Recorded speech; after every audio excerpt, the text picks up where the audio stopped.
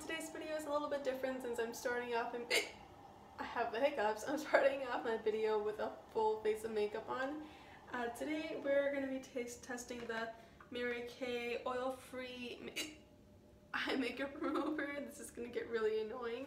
So I'm just going to go ahead and take off my eye makeup with this and then we're going to go in with a makeup wipe and see how good of a job it did.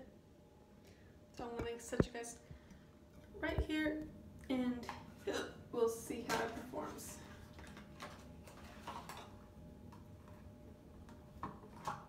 So this what it looks like. It's just pink.